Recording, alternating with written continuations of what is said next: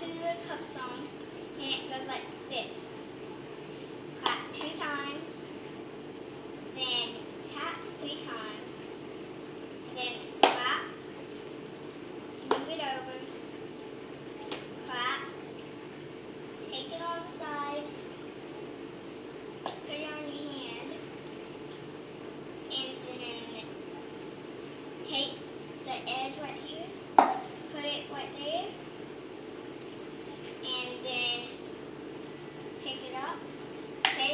other hand, put that hand down, and then like that.